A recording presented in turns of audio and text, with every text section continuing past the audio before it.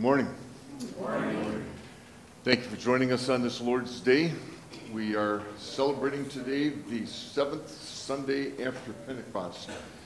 Uh, just a couple of comments before we begin our service. We first of all welcome all of you here this day, also who may be watching us online as well. Thank you for joining us on this day. Um, we will be having a shortened service today and for the following two Sundays as well. As part of our congregation's self-study, we will be undertaking beginning today a Bible study in connection with our church service. So we'll try to keep the service itself short so there's enough room in there for Holy Communion and also for our Bible study.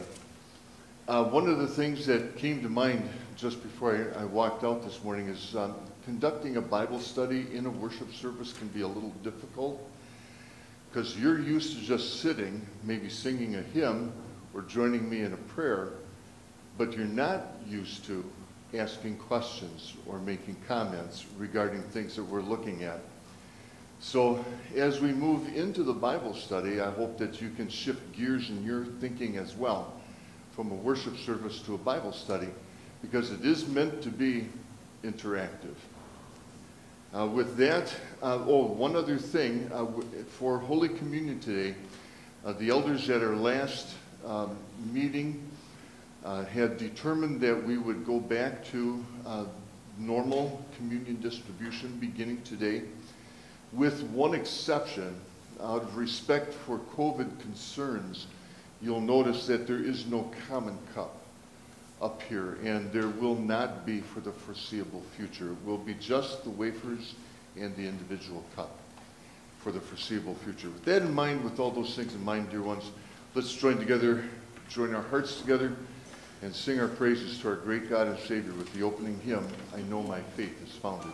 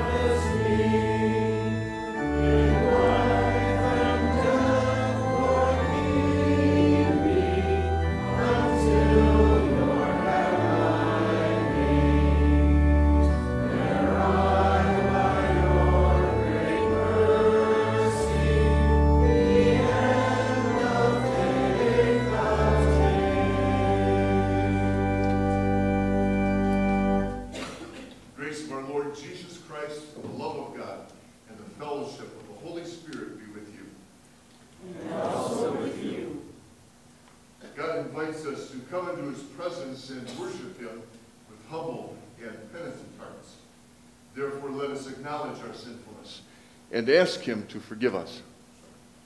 Holy and merciful Father, I confess that I am by nature sinful, and that I have disobeyed you in my thoughts, words, and actions. I have done what is evil, and failed to do what is good. For this I deserve your punishment, both now and in eternity. But I am truly sorry for my sins, and trusting in my Savior Jesus Christ, I pray, Lord, have mercy on me, a sinner. Dear ones, there is good news. God, our Heavenly Father, has been merciful to us and has given his only Son to be the atoning sacrifice for our sins. Therefore, as a called servant of Christ, and by his authority, I forgive you all your sins in the name of the Father, and of the Son, and of the Holy Spirit. Amen. And you may be seated.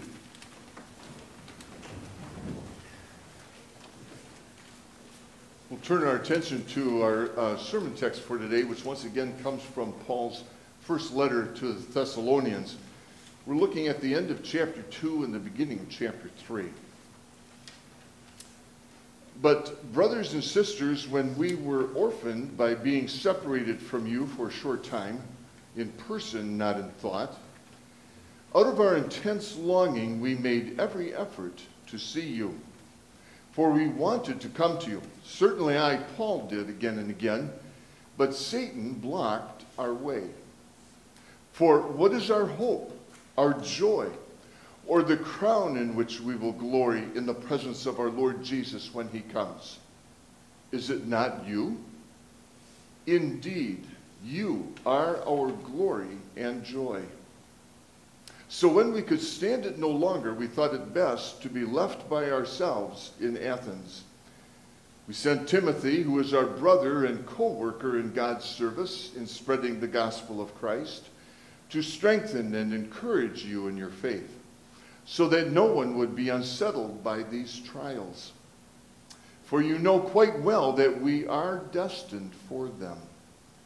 In fact, when we were with you, we kept telling you that we would be persecuted, and it turned out that way, as you well know.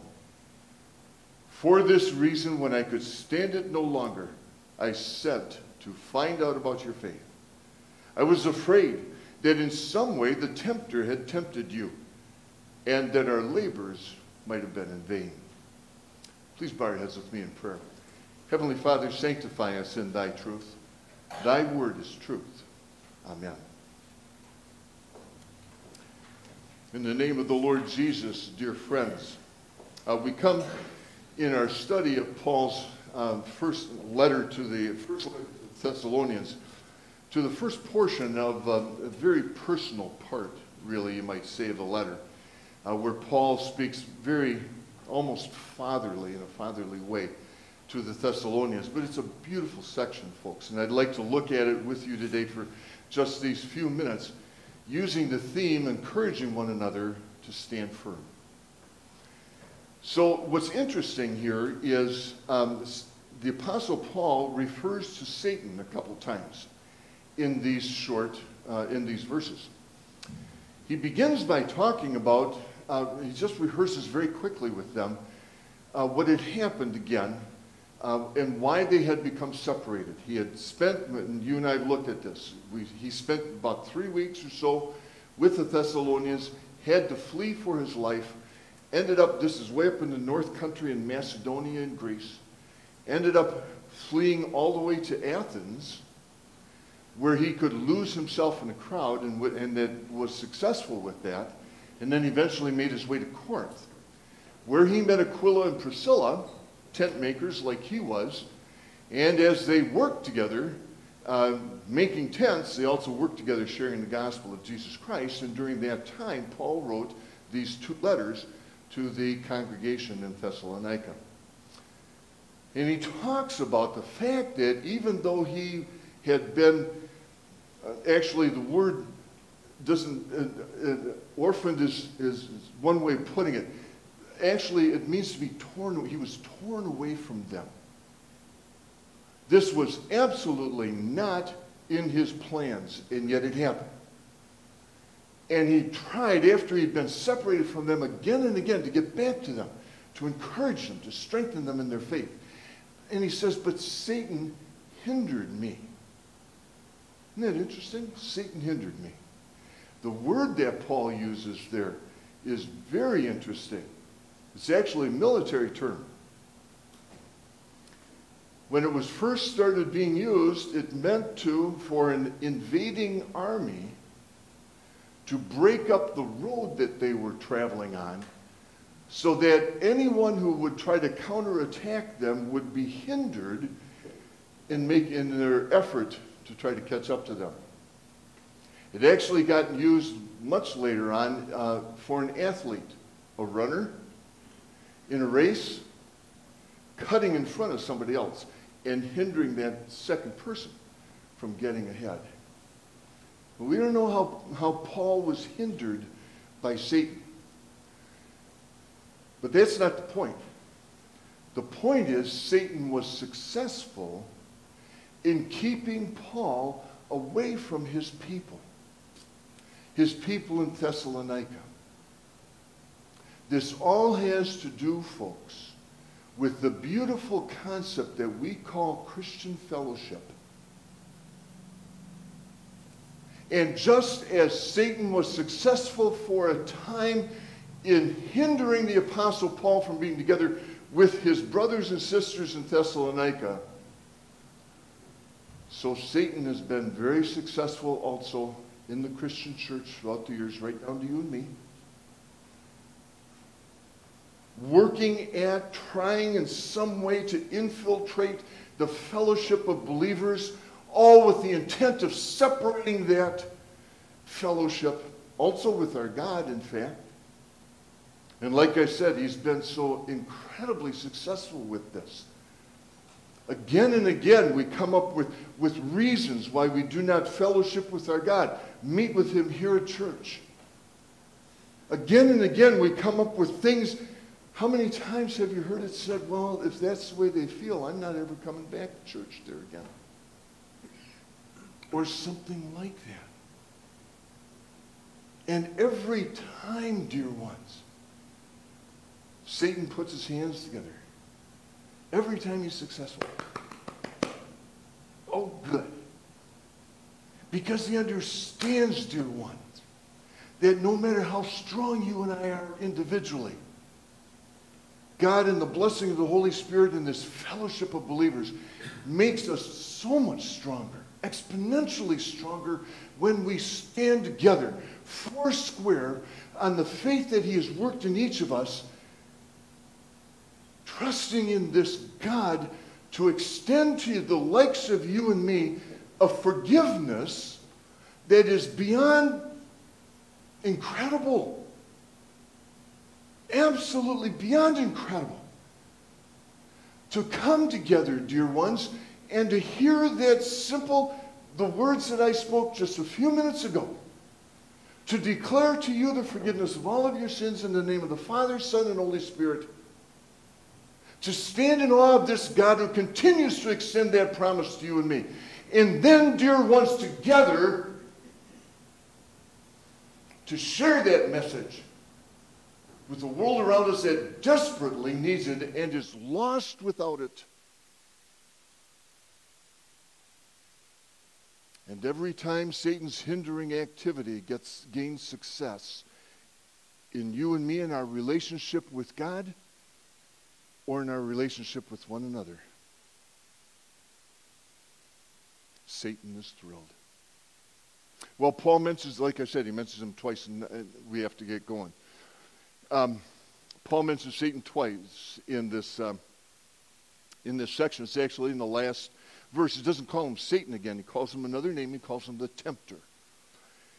And he talks about the tempter's temptations.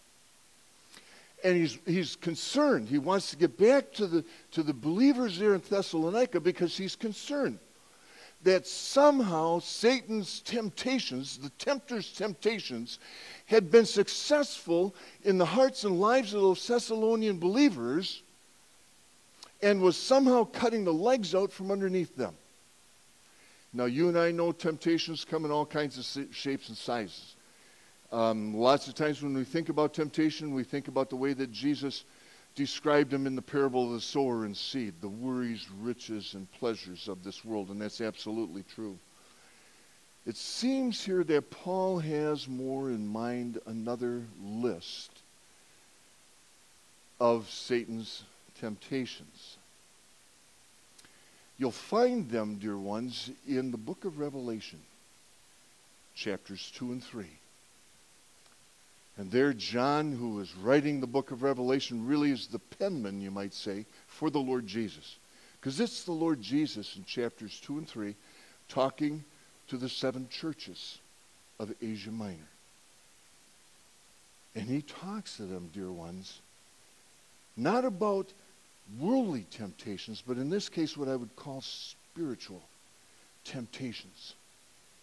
How the Ephesians have lost their first love.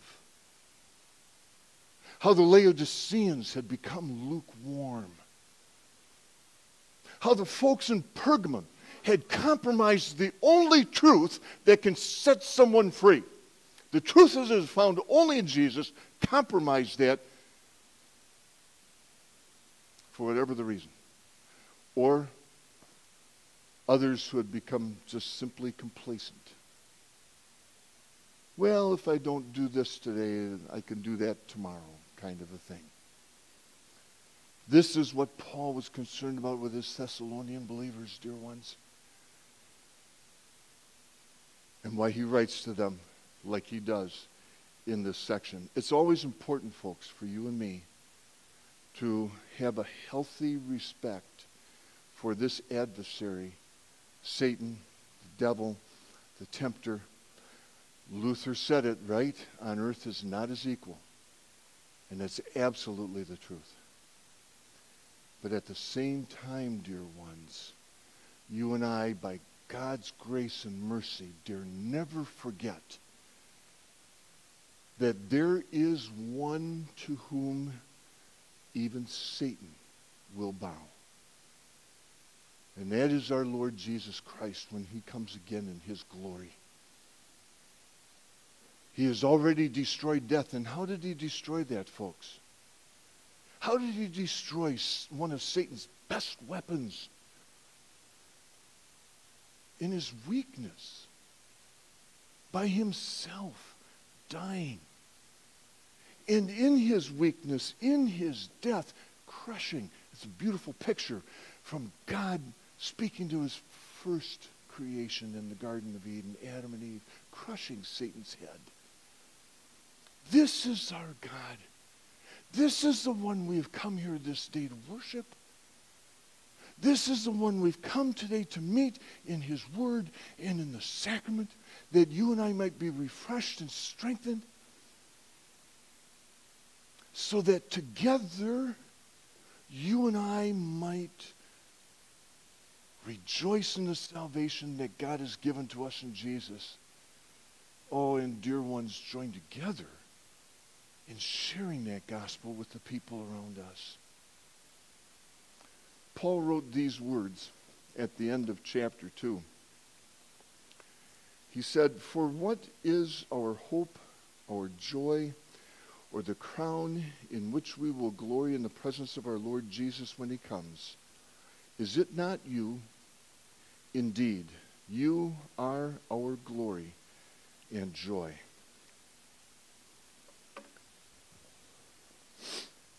Could the same thing be said by you about our fellowship of believers here at St. Mark's?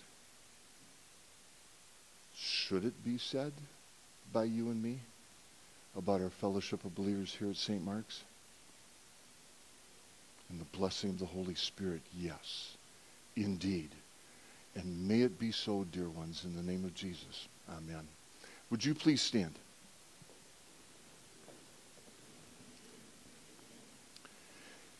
May the peace of God, which surpasses all understanding, keep our hearts and our minds in Christ Jesus. Amen. I'd like you please now to join with me in one of the ancient creeds of the Christian church, the Nicene Creed. We'll join together as an expression of our faith this day. We believe in one God, the Father, the Almighty, maker of heaven and earth, of all that is seen and unseen.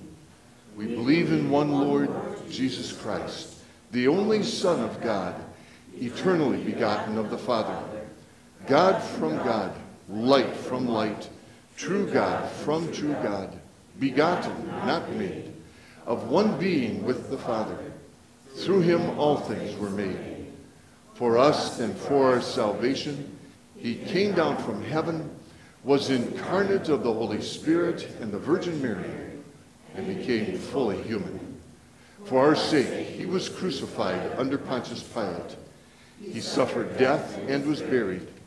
On the third day, he rose again in accordance with the Scriptures. He ascended into heaven and is seated at the right hand of the Father. He will come again in glory to judge the living and the dead, and his kingdom will have no end.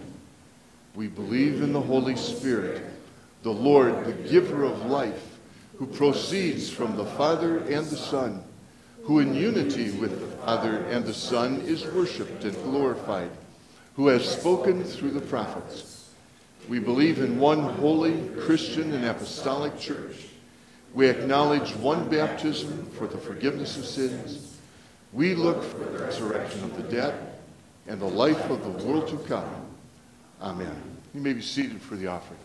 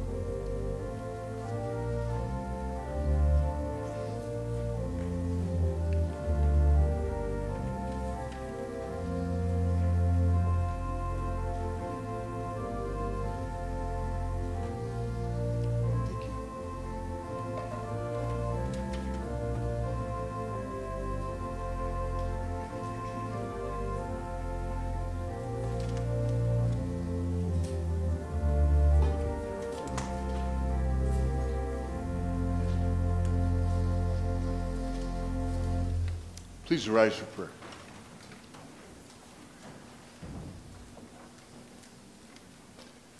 We, Lord, would lay at thy behest the costliest offerings on thy shrine.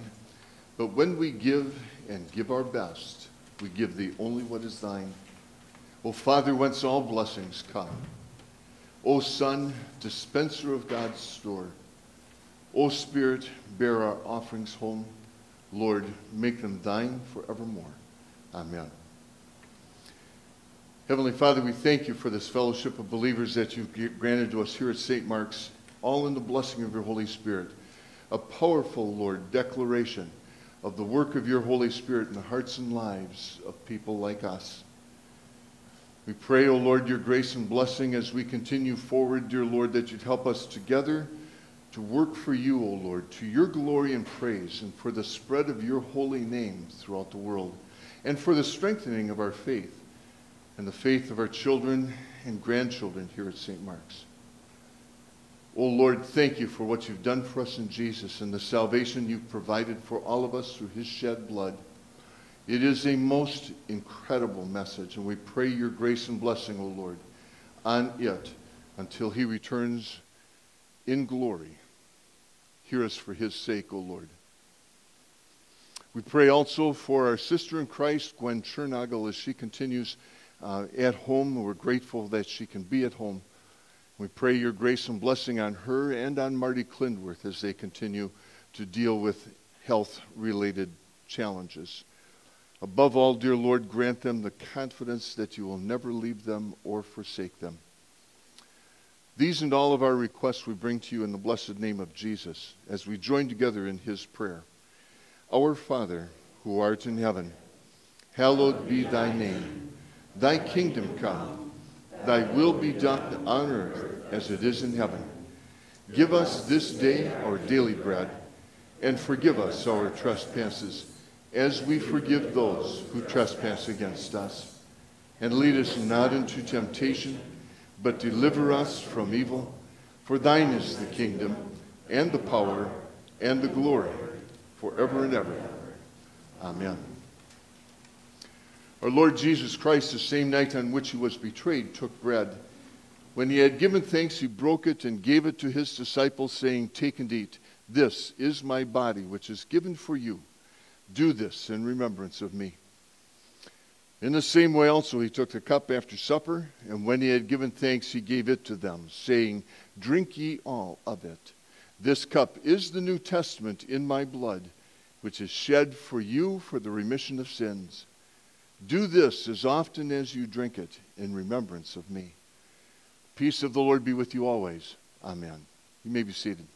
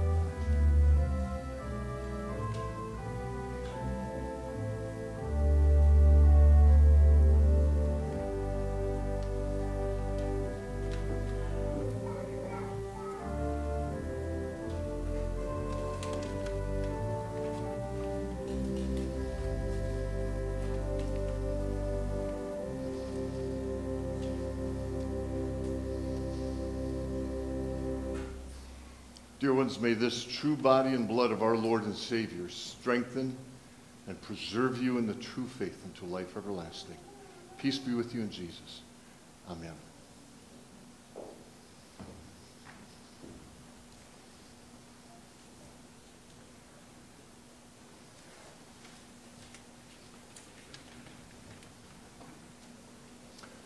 So if you would please, uh, we'll take just a second here. The ushers are coming forward and they're going to distribute the, the Bible study uh, that we'll be using for these next three Sundays.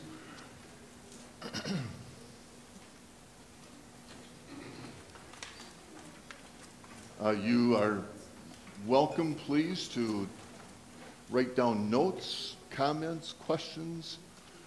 Um, I think there's a little bit of room on the back page of the Bible study if you would like to uh, do that. Uh, take some notes there, put some notes down.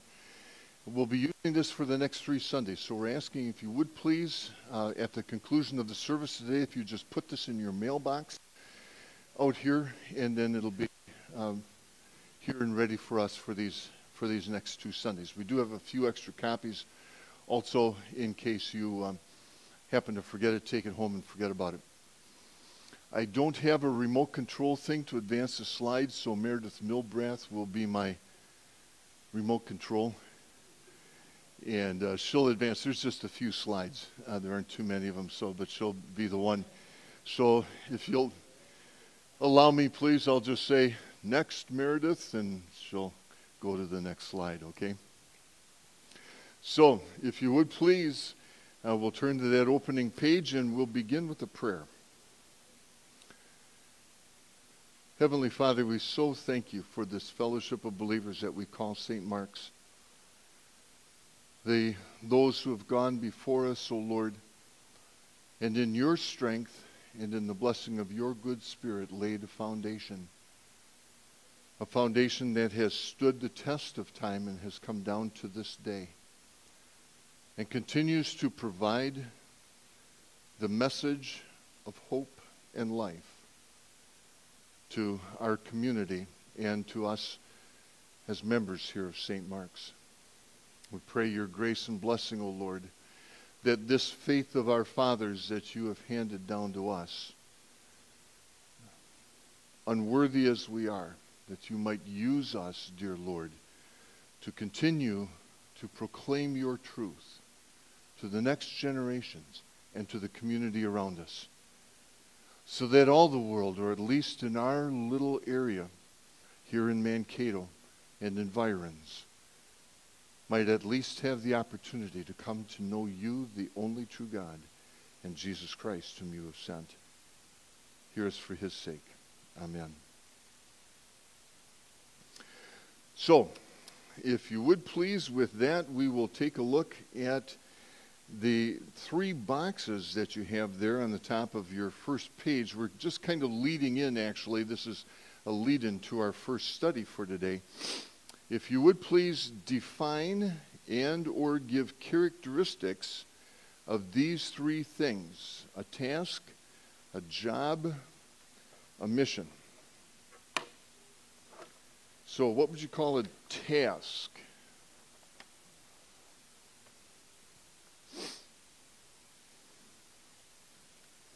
Like I said, you, you know, at the beginning of the service, now we got to switch gears because it's okay for you to talk now. Any ask questions, Ron? One time, you're looking at your goal, put the energy in and start. Excellent. Good. Um, very, uh, very spot on. Let's see, what does he give here for? Uh, I can't read it. Uh, we often think of tasks as being shorter or one-time activities, not ongoing just what Robin just said, right? A task might be something that is assigned. Like a task when I was teaching at MBL, I would assign a task to the students. Or you might assign a task um, to your children or your grandchildren to do the dishes or take out the garbage or something like that. Good. How about a job? How would you define a job? characteristic of a job. Say it again. Okay. Spot on. A job, let's take a fancy term for that. It's a vocation. That's the fancy term for it. It's what you've been doing. Look at a number of folks who are my age and what we used to do for a living Many of us, what we're still doing for a living, as an example of, of what we would call a job. So this is something that might involve tasks, right? There are a number of things that you did in the course of fulfilling your job, but those individual things or tasks were only part and parcel of, of that job. How about a mission? Define a mission. A goal. Purpose. Goal and a purpose. Excellent. And we're going to obviously be focusing uh, much more on a mission. And, and he has here a mission is greater in scope, more important than a job. It is also something that is given to you by superiors. So that might be something that you want to add into that thought of, of a mission, as something that's given to you by a superior. Why? So the question that he asked is, why is it important that we keep these things straight? And what would happen if you thought of a task as a mission, or what would happen if you thought of a mission as a task? Bob. One and done. And getting that confused. And getting that confused. Yes. This guy said it's something that you want to do, when it's a mission, you're, you're invested, you want to do it, and it's a task or a job, then you have to do it. I like that. Excellent. Excellent. Job sometimes you have to do. And a mission is something that, by God's grace, we want to do. Excellent. So, um, let me just read this on the bottom. It is important that congregations are clear about their mission, for a mission provides, yeah. Tell me what the French is. I don't know what it is. The reason for existence. That I can read but I don't do, I don't do French. Uh, even though I came through the era when French was, uh, you know, the real chic thing to do, I don't do French. Um, Meredith, next. So, let me share with you an example that he gives with this. Um, but first of all, I want to just point out to you that uh, we want to very much keep these words clear and separate as we move forward, a task or job or mission. So uh, the picture that you have here is, uh, picture in the back is Kentucky Fried Chicken.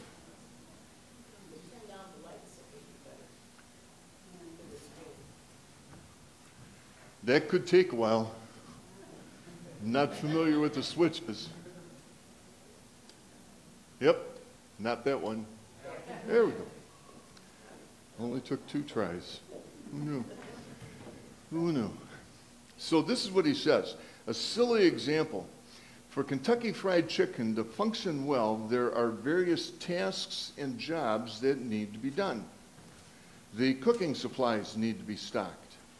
You need people who are trained to manage the deep fryers. You need someone to keep the books. You need someone to keep the floors and the bathrooms clean. If any of those tasks or jobs is not done well, it hurts the ability of that particular Kentucky Fried Chicken franchise to function. Your fried chicken experience will not be as delightful, but you will still be able to eat your chicken. Now, if Kentucky Fried Chicken started deep frying bat. And that's the lower right picture. Instead of chicken, they are no longer fulfilling their mission. A Kentucky fried chicken that sells fried bats might as well not exist. And that's what this reason uh, for mission, or reason for existence, is all about. All right? Next slide, please. So, What we want to look at today is just this concept of mission in the scriptures. And it's interesting that the term actually gets used uh, several times. So you have uh, some Bible passages there from Joshua 22. Uh, let's begin with that. Someone, if you would please read that for us, Joshua 22, verse 1. And you can just read it. Go ahead. For a long time now, to this very day, you have not deserted your fellow Israelites, but have carried out the mission the Lord your God gave you. Okay. So a couple things in this regard. First of all, it's obviously Joshua who's talking. Uh, it's toward the end of the book of Joshua. So we've, we've already gone through the conquering of the land of Israel. And Joshua is actually speaking here to the soldiers who came from two and a half tribes of Israel. You might remember that the tribes of Reuben and Gad and half the tribe of Manasseh had very early on, back in the days of Moses, asked if they could settle on the east side of the Jordan River rather than, go, rather than settling on the west side of the Jordan River. Moses had said, You can do that, that's fine. But first, you're going to come with us and you're going to help us fight our battles over here on the west side of the Jordan River, between the Jordan River and the Mediterranean Sea. And when that land has been conquered, then you can go home and settle your land. Well, the conquering has been done. And now Joshua, not Moses, but now Moses' successor, Joshua, has the privilege of telling these men, you have not deserted your fellow Israelites, but have carried out the mission the Lord your God gave you, and namely gave through Moses. That task was done, and now they were ready to go home. Good. Anybody?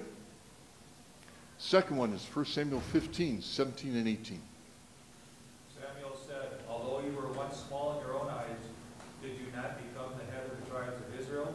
The Lord anointed you king over Israel, and he sent you on a mission, saying, Go and completely destroy those wicked people, the Amalekites, wage war against until you out.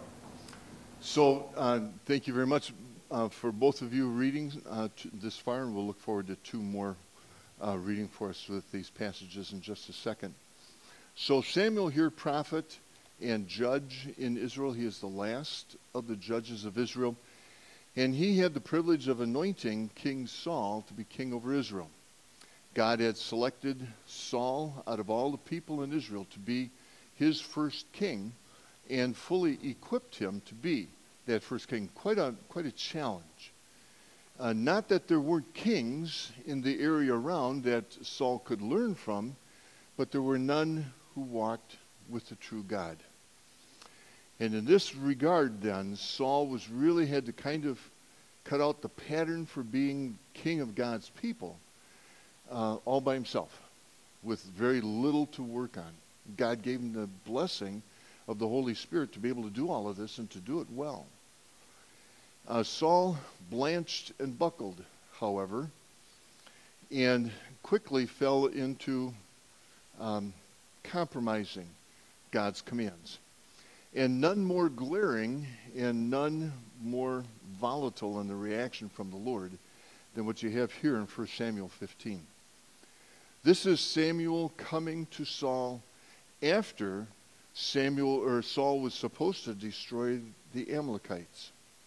These are people that had attacked Israel right after they escaped from Egypt, before they got to Mount Sinai.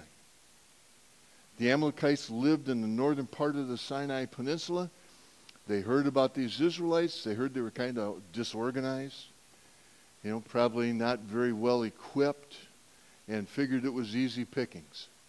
So they came and attacked the Israelites. Of course, the Amalekites weren't ready to have to deal with the Lord. And this is that battle where Moses went up on a hillside and raised his hands. You know this battle. And, as long, and whenever he would hold up his hands, the Israelites would be winning. But if his hands got tired and he had to put them down, then the battle would be, the Israelites would start losing. And this is where Aaron and Moses' um, uh, brother, uh, father-in-law Hur came. They knelt on the ground and they allowed Moses to rest his arms on their shoulders so they could hold him up in Joshua, and the Israelites won a great victory that day.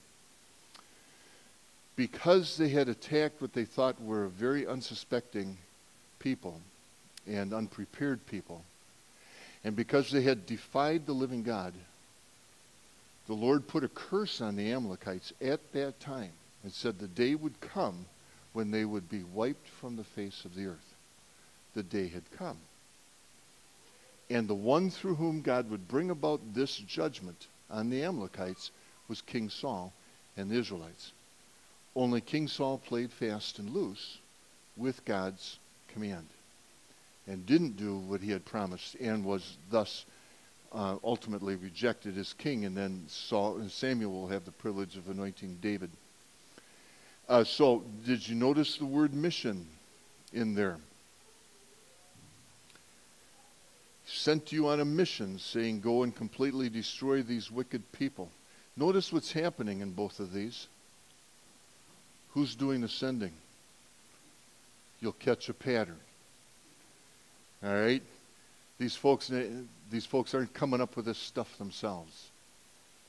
They're being sent. Acts 12, 25, would you please? When Barnabas and Saul their mission, they returned from Jerusalem, taking with them John, also called Mark. We'll save you, Robin, for Acts 20, 24. Thank you.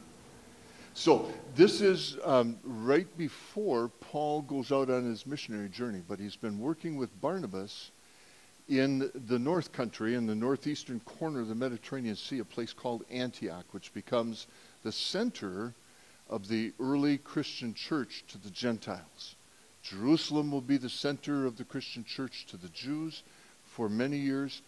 The Antioch will become the center of the Christian church for the Gentiles. Paul and Barnabas were wonderfully blessed in their ministry there by God. The brothers in Antioch decided that they, they heard about the troubles that the Christians in Jerusalem were facing, and they decided to take an offering. Isn't that cool? On their own, they decided to take an offering. And then when they collected the offering, they sent Paul and Barnabas to Jerusalem to take the offering there. So now they're coming home. And what we just were, what we just heard, when Barnabas and Saul had finished their mission, they returned to Antioch and they will then soon be sent out. It's interesting that the same Greek word is used in the next one as well, Robin, Acts 20, 24.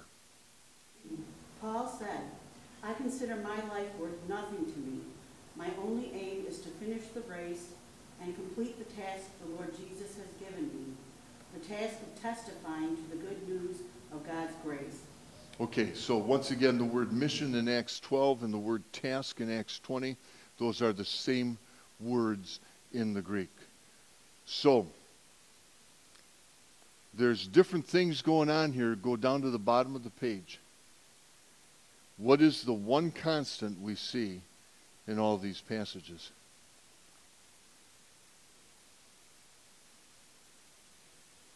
I'm sorry. It was the mission from God. Mission from God. That's a great answer to write down uh, for that for that question on the bottom of the page. Absolutely and positively. So he has written here. It is probably good to note that Scripture does not give us a working definition of mission. As these passages illustrate, there are a number of different words that are rendered mission in some translations. Moreover, the flavor of those words translated mission is often quite different. However, while Scripture doesn't give us a simple, concise definition of mission, we certainly see the concept. It is an important task that God that is given by God himself. In Scripture, a mission is not self-imposed. You don't get to decide your mission. And if you would please turn the page and let's take a look at, at those couple of Bible passages that you have on the top of the page, and then we'll move to the conclusion. Anybody, Psalm 119, verse 73? Okay, always a good reminder, huh? that we didn't fashion ourselves. God made us. Matthew 16, 18. Jesus said, On this rock I will build my church, and the gates of Hades will not overcome. Okay, notice whose church it is. Jesus' church. And who will build it? Jesus will build it. Jesus will build that church. Absolutely. So, a mission statement focuses on the heart of the matter, the heart of the matter. Now, very quickly, think of a miracle of Jesus. And just, you can just say it when you think of it. Water and wine. Water into wine. Great. First one. Raising the dead. Raising the dead. Feeding of the five thousand. Feeding of the 5,000. And four thousand. Eh. Healing, healing, And four thousand. And 4,000. healing people. Healing people. All them storm. Say it again. The storm. Calming the storm. Walking on water, Walking on water. Excellent. destroying an olive tree. Say it again. Destroying an olive tree yes, he That's did. Very. Yes, he did. Healing Jairus' daughter. Jairus' daughter. We just heard about that here not long ago. Good. All of these great, great examples of the work of Jesus. Looking at that list, well, you can't look at it, but listening to that list, would you call any of those Jesus' mission? No, they weren't his mission. Were they a job or a task? Certainly a task, huh? Certainly a task, and certainly part of the job that he'd come to do, but not his mission. Not his mission. Look at Luke 19, verse 10, and Mark 10, 45, and you'll have the summary of Jesus' mission, right? Would you read them, please, for us? Somebody, Luke 19, verse 10? Jesus said, the Son of Man came to seek and to save the lost. And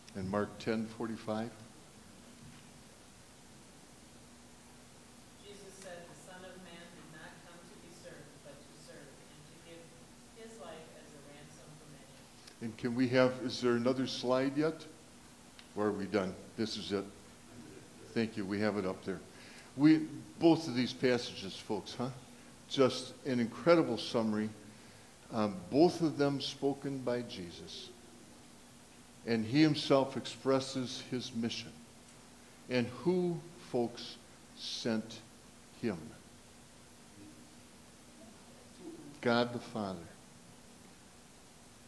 Even on a mission to lay down his life as a sacrifice for the sins of the world, Jesus did not undertake that mission by himself. God the Father so loved the world, right, that he gave his one and only Son, so that whoever would believe in him should not perish, but have eternal life. This is how Jesus describes his mission. You see that in that third last bullet uh, towards the bottom of the page.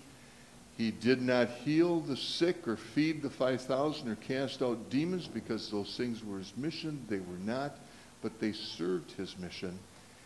And it is absolutely vital that a congregation distinguish between their God-given mission and good and noble tasks that may serve that mission. Because these tasks may support the mission of the congregation, but may not carry it out or fulfill it. Let me share with you just in closing.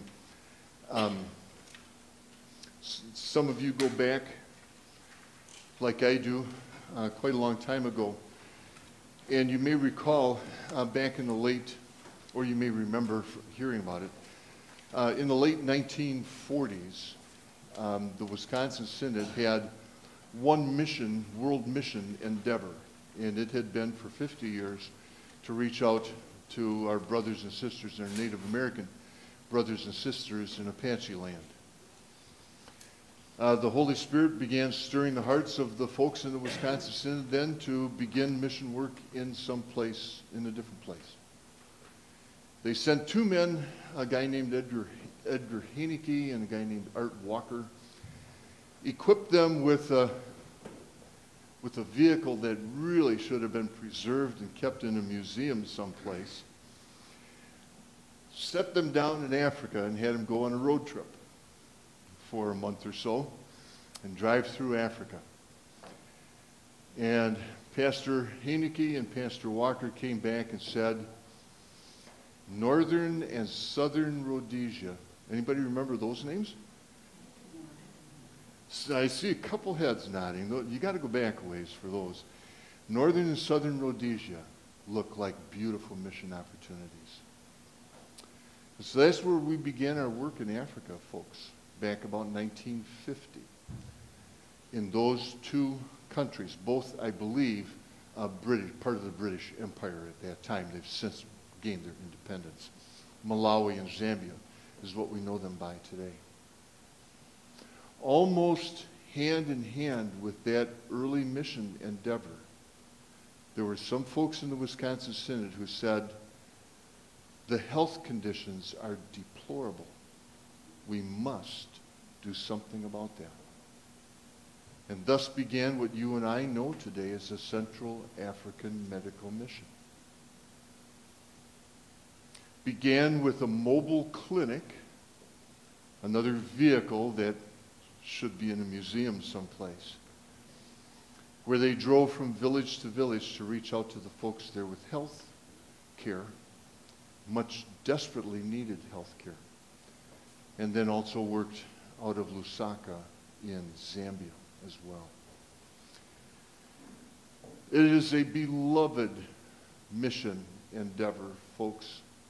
Should be very close to all of our hearts. It has been for, well, how many generations? Couple, three? For the Wisconsin Synod? Much, much blessing poured through these dear people who have spent themselves uh, in that work but never the mission of the mission work in Malawi and Zambia. A very important job, ongoing job, but not the mission. The mission, dear ones, is to proclaim the gospel of Jesus Christ to lost souls, to seek and to save not to be served ourselves, but to serve and to give our lives also in service to him who is our King and our Lord. Together they have formed the Central African Medical Mission, and our African outreach work has formed just an incredible team with wonderful, almost matchless blessing. Very exciting just to hear someone come and talk to, to you for an hour about the work that's ongoing there in, in Central Africa. God be praised. The Lord Jesus is being lifted up, him who is the light of the world. And bodies and souls both are being cared for through that wonderful, wonderful outreach effort there in Central Africa. Anybody question or comment? We're at 10 o'clock. We have just a closing prayer and blessing and a closing hymn. Let's. Keep these and bring them back or hand them back in? Uh, it would be easiest if we would put them in the mailboxes, in your mailbox, uh, out there in the entryway, and then you'll have it there for, for next week. Thanks for asking again, Galen. All right, I'm going to take my position up here, and if you would please stand.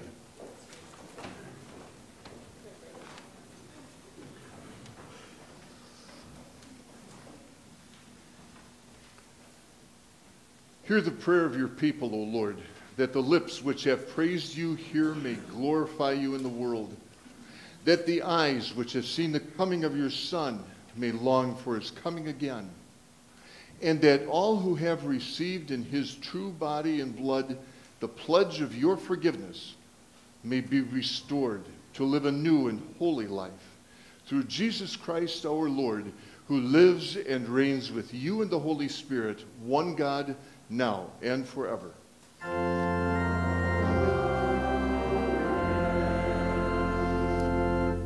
Brothers and sisters, go in peace. live in harmony with one another, and serve the Lord with gladness. And now receive our Lord's blessing. The Lord bless you and keep you. The Lord make his face shine upon you and be gracious unto you. The Lord lift up his countenance upon you and give you peace.